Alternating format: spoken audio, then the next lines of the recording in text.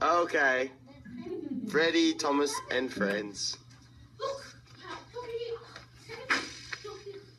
This is the story about Fearless Freddie. Everyone had heard tales of Fearless Freddie. He thought he was the fastest engine in all of Sodor.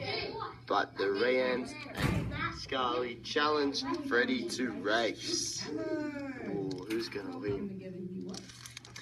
One day, an old friend was returning to Narrow Gauge Railway. His name was Fearless Freddie. He was fast, fun, and fearless. Thomas brought Freddie to the transfer yards. Hello, Sir Handel. Tales about the old tracks. Everyone was happy that Fearless Freddie was back. The end. The end.